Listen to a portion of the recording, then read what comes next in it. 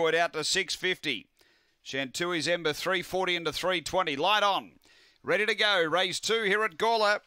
Opening race went to the short prize fave. Hey Grace. We're set.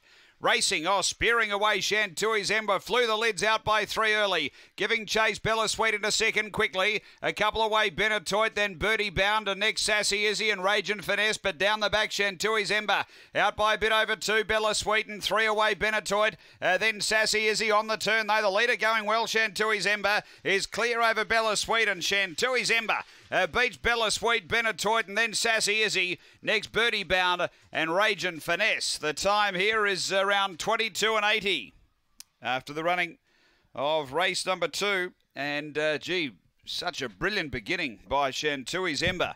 Flew through and was able to set up a nice lead and uh, was never really in danger. Uh, for Nathan Goodenough, uh, too good here. Number one, second going to seven, which is Bella Sweet for Michael Taylor.